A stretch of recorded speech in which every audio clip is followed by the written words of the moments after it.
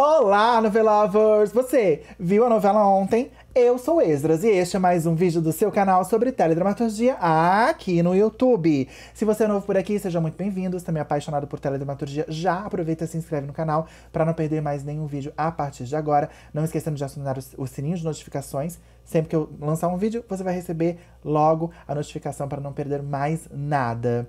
Então fique muito à vontade, porque hoje nós temos o quarto e último vídeo do especial LGBTs na teledramaturgia. E eu preparei para o grande finale LGBTs das próximas tramas da Globo. Então a gente vai saber um pouquinho mais quem são esses personagens LGBTs que vão estar nas próximas novelas que estão aí sendo gravadas há um tempinho, que ainda vão começar a ser gravadas. Então se prepara que daqui a pouquinho depois da vinheta eu conto essas novidades para vocês. Não sai daí.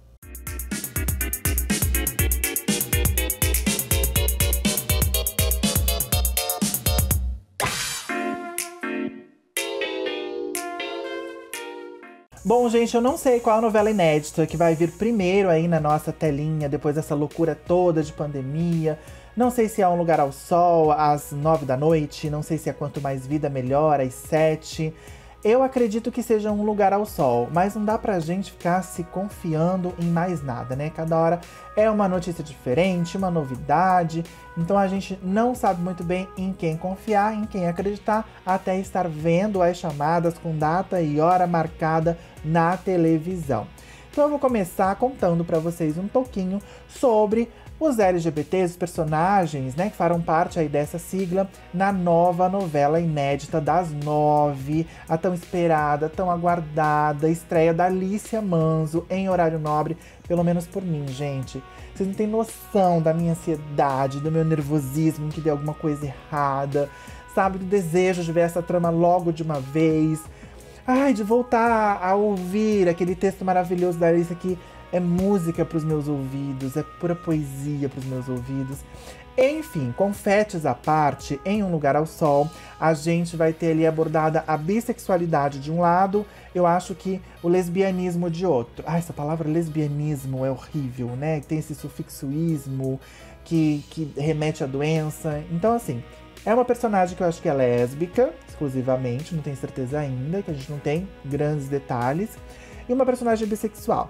A bissexual é a Ilana, vivida pela Mariana Lima, que volta às novelas seis ou sete anos depois, né, de Sete Vidas, que ela fez lá em 2015. Então, se a novela estrear em 2022, serão sete anos afastada das novelas.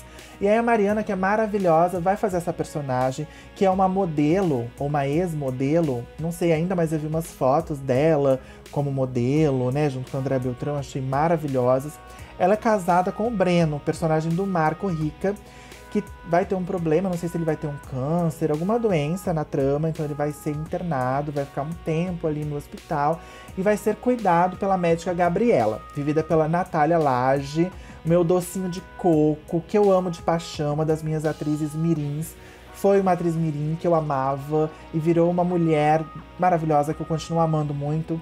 Também é uma volta para mim assim, tri triunfal, né, para mim, porque ela ficou muitos anos afastada das novelas, desde 2006 que ela não faz novela, a última foi Pé na Jaca. Ela fez alguns episódios de tapas e beijos, mas novela é novela, né, gente? A gente quer ver as nossas atrizes e atores preferidos nas novelas. E aí eu tô muito feliz com esse retorno da Natália Laja, que vai fazer então essa médica, Gabriela, que vai cuidar do Breno, esposo da Ilana, feita pela Mariana Lima. Só que aí elas acabam se encantando uma pela outra e vai rolar um flerte, parece que vai rolar um romance. E quando o Breno se recuperar, meio que vai ter um triângulo amoroso. Não entendi muito bem como é que vai funcionar isso, mas eu acho que a Alicia vai trabalhar de uma forma diferenciada do que a gente está acostumado a assistir. E a Alicia sempre aborda tudo muito bem, qualquer tema, principalmente esses mais delicados, mais polêmicos. Então a ansiedade aqui é grande. Vamos aguardar porque logo, logo, eu acho que talvez só em 2022. E sabe o que eu prefiro, gente? Porque eu acho assim, a Alicia demorou tanto para estrear. E tanto 2020 quanto 2021 foi um ano tão caudaloso, né? Tão cheio de tropeço, tão cheio de coisa ruim. Então eu amaria que a Alicia abrisse a programação 2022 da Rede Globo com novelas e programas inéditos, né? Com a sua trama inédita. Acho que seria lindo. Abrir assim essa programação com o pé direito, começando com Lice. Então, já tô torcendo que venha só em 2022 mesmo. E aguardando com todo o meu coração e toda a minha ansiedade de fã liciniano. E a nossa próxima trama inédita, que vai estrear também, provavelmente só em 2022 dessa lista, que também vai ter assim uma fila de personagens LGBTs, eu achei isso muito legal. É a próxima das sete, Quanto Mais Vida Melhor, escrita pelo Mauro Wilson. É uma trama bem propícia, né, pro horário, leve, cômica. Não me parece que vai ser uma novela boba. Tá me interessando, tô muito querendo ver também essa novela porque o elenco é fabuloso, é um autor novo, então tô bem curioso sim, por quanto mais vida melhor. E aí uma coisa que me chamou muito a atenção é que a gente vai ter a presença de várias atrizes transexuais na novela, e eu achei isso ótimo. A gente vai ter a Nani People, que já é assim super conhecida do público. A gente vai ter a Carol Marra e também vai ter a Marcela Maia, que é uma atriz nova, né, estreante em novelas.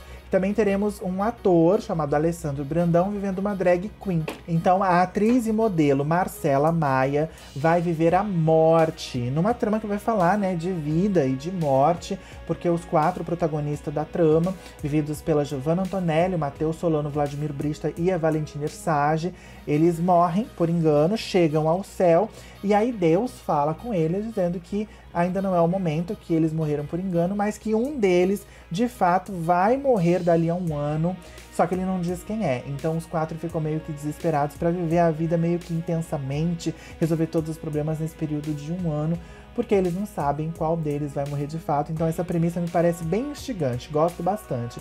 Então a Marcela Maia vai estrear como a morte, né? Que acho que vai estar bem presente ali na vida desses personagens. Eu achei muito legal, uma personagem diferenciada, já que Deus não tem sexo, a morte também, se é que ela existe nessa forma, também não deve ter sexo, né? E não importa se tem ou não, né, gente? A gente não quer que ela chegue perto. Já a Carol Marra, ela vai interpretar a Alice, a funcionária de uma empresa de cosméticos, que é a empresa da Giovanna Antonelli, né? Que vai fazer a Sara. Então a Sara, ela é proprietária dessa empresa, uma milionária e tal, vai ter ali a sua horda de funcionários e a Carol Marra vai fazer parte deste núcleo. É uma atriz que eu gosto bastante, já vi na televisão em papéis pequenos, já vi no cinema também, mas parece que agora é um papel maior e eu fico muito feliz com essa participação da Carol. E temos também a estreia de um ator, Alessandro Brandão, que eu não conhecia, nunca ouvi falar. Ele vai interpretar uma drag queen que trabalha na boate onde a Valentina Ersage, que é cantora e tem uma banda, se apresenta. O Alessandro Brandão, ele conta que já não teve dificuldades em compor o personagem porque já trabalha, né, como drag queen, ele faz performance e a sua personagem drag se chama Nina Bello Hombre. Bom esse nome, né? Então tá aí, ele tá muito à vontade no papel e eu achei muito bacana também essa estreia do ator nesse personagem. Fechando então esse núcleo LGBT, eu até acho que vão ter mais, mas eu só consegui levantar esses quatro personagens. Falo da querida Nani People, né? Super talentosa, super carismática, que estreou com o pé direito em O Sétimo Guardião. Gente, quando eu falo pé direito, eu falo da personagem, tá? A personagem dela era muito bacana, porque ela é muito talentosa. Mas não tô me referindo à novela, que realmente foi um grande erro aí no hall de novelas da história do Brasil e da televisão. Mas enfim, a Nani fazia o Marcos Paulo em O Sétimo Guardião, que era dirigida pelo Alan Fitterman, que é um dos diretores principais, acho que é o diretor de núcleo ou geral de Quanto Mais Vida Melhor. Parece que o Alan tem várias amigas trans e que ele gosta muito delas, então tanto a Carol Marra quanto a Nani People são amigas pessoais e o convite surgiu dele para que a Nani voltasse em sua segunda novela. A Nani diz que ainda não tem detalhes do papel, mas que é uma personagem muito divertida, que ela gostou bastante e que tá muito feliz com essa nova oportunidade aí. E só tem que agradecer ao Alan, que está trazendo uma quantidade muito expressiva, né? De, de atrizes trans e, e, e personagens LGBTs, que já é mais por causa do autor que criou os personagens, mas as atrizes trans em cena é muito bom saber que elas estão tendo cada vez mais espaço, né? Todo mundo merece espaço. E o Alan tá fazendo essa coisa maravilhosa para essa novela que só me instiga ainda mais. Eu já tinha vontade de ver antes, sem saber desses detalhes dos personagens. Agora tenho vontade de assistir ainda mais. Então ficamos no aguardo também por quanto mais vida melhor. Agora, claro, eu vou falar dessa que eu acho que vai estrear antes de todas. Ela não vai para televisão, vai direto pro streaming. E eu não ia falar dela, mas eu falei, não, gente, vou ter que falar, todo mundo ama, todo mundo é fã, tem muita gente ansiosa que é Verdades Secretas 2. É claro, a primeira teve bastante LGBTs na trama e a segunda não vai ser diferente, até porque agora as coisas parecem que vão ser bem mais ousadas, já que a gente tá falando de streaming, né? Então, pode fazer o que quiser ali, porque não tem esses problemas de restrições com TV aberta. E nessa nova trama do Valcir Carrasco, a gente já vai ter os personagens que nós conhecemos da primeira novela, né, de Verdades Secretas ou One, que é o Rainer Cadete, fazendo aquela gay afeminadíssima, afetadíssima, maravilhosa. Eu achei uma composição incrível do Rainer Cadete, que fazia o Whisky. Agora ele vem aí com um visual um pouco diferente, mas ainda assim ousado. E gosto muito do personagem. Também o João Vitor Silva, que fazia o Bruno, né, filho do milionário Alex, que morre na, na primeira trama ele volta com uma história muito parecida com a primeira. Lá na primeira trama, ele teve um casinho com o Sam, que era vivido pelo Felipe De Carolis, que era um traficante de drogas, que acabava viciando ele. E os dois acabavam realmente tendo um relacionamento, com um sentimento ali meio que verdadeiro. O garoto descobria que era bissexual e tal. Mas o traficante, né, traficante, interesseiro, também tinha um interesse na grana do garoto. Enfim, para ver esse papel, que não vai ser mais do Felipe de Carolis, a gente tem o Rodrigo Pandolfo, um excelente ator, super competente, muito conhecido nos cinemas por ser o Juliano, o filho gay da dona Hermínia, em Minha Mãe é uma Peça, né? Grande clássico aí do cinema do Paulo Gustavo. Então, o Juliano, ele é ótimo. A última novela dele na Rede Globo e na TV, né, como um todo, foi Geração Brasil, onde ele fazia um, um, repórter chinês, que não era chinês, mas ele fazia tão bem que a gente acreditava. Ele vai fazer agora o Benji, que é também um traficante, que se aproxima do Bruno por interesse, quer se aproximar do dinheiro do pai dele, porque ele agora é herdeiro, né? Herdou a fortuna do pai. Enfim, parece que é um personagem muito parecido. Vamos ver se o Valsir vai mudar alguma coisa aí na história desses dois personagens. Mas a princípio teremos esses três personagens gays fixos em Verdades Secretas 2. Que eu creio que vai ter muito mais personagens LGBTs. Vai ser assim, gente, a farra do boi, né? Porque a gente vai falar ali de submundo, de mundo da moda, de droga, de prostituição. Então, taca tudo que é LGBT ali porque o, que tem nesse meio é LGBT. Tem mesmo. Não vamos ser hipócritas, né? A gente sabe que muitos LGBTs vivem na marginalidade, vivem no submundo. Então tem que ser representado de todas as formas, de todos os tipos. Então Verdades Secretas vai trazer aí um outro ângulo, um outro viés que meio que a gente já conhece da primeira novela. E vamos repetir a dose agora. Fechando então o nosso vídeo de hoje, né? O nosso último vídeo especial personagens LGBTs da nossa teledramaturgia. Vou falar de Pantanal. Ah, essa é polêmica. Será que vai ter? Será que não vai ter? A gente já sabe que o dono da história não curte muito história de bicha, esses personagens estranhos. Mas o fato, gente, é que na primeira versão de Pantanal tivemos um mordomo, mais uma vez, ele, né, o indefectível mordomo gay das madames, que era vivido pelo ator Luiz Alberto Pinheiro. Era um personagem muito legal, porque ele era um mordomo afeminadíssimo da cidade grande, vivia no Rio de Janeiro, cuidando ali da sua patroa, que era justamente quem, quem, quem? Natália Timber novamente, que foi patroa do mordomo Eugênio, dessa vez era patroa do mordomo de Pantanal. E ela fazia Mariana, né? Então ele vivia ali naquela família. Em determinado momento da trama, a família se muda pro Pantanal e ele vai junto, né? Como cachorrinho de madame.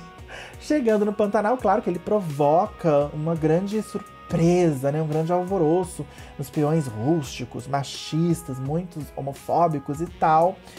Porém, ali no meio daquela peãozada toda, sempre tem alguém que curte, né? Sempre tem alguém que curte. E aí o, o mordomo ele se interessa pelo Alcides, vivido pelo Ângelo Antônio, não é que ele é correspondido, gente. No início, o Ângelo Antônio dá umas patadas, dá uns foras nele, mas ele é tão persistente que no final ele até consegue ter um trelelê ali com Alcides. E a minha dúvida é: vai voltar esse personagem para Pantanal 2.0 em 2022? Eu torço que sim, viu? Torço muito. Espero que a escalação seja surpreendente, que não seja um, um, um, ator assim desconhecido. Eu queria que fosse um ator assim meio já famosinho, sabe? E também que eles façam um personagem ser um pouco maior.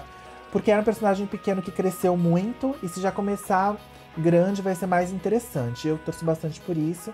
Com certeza o Alcides vai estar na trama, né? Que era um personagem super importante, feito pelo Ângelo Antônio. Eu tô curiosíssimo por esses dois personagens de Pantanal, o remake. Então, esses são os LGBTs que vão vir aí nas próximas novelas, né? É, estamos ansiosos? Estamos ansiosos, então vamos aguardar para curtir bem, tranquilamente essas novas novelas, já todas vacinadas, bonitinhas, lindinhas, imunizadas. E é isso, pessoal. Eu espero muitíssimo que vocês tenham curtido esse especial do mês do orgulho LGBT que eu criei aqui para o canal. Eu amei. Se vocês gostaram, então deixa o seu like. Se você ama a teledramaturgia, está curtindo o canal, também se inscreve e me segue nas redes sociais. Ah, coloca aí nos comentários qual foi o seu personagem preferido dos que eu falei aqui, o que mais instigou você, o que mais te deu vontade de assistir, qual a novela que você está mais ansioso, me conta, tá? A gente se vê no próximo vídeo. Beijo, tchau!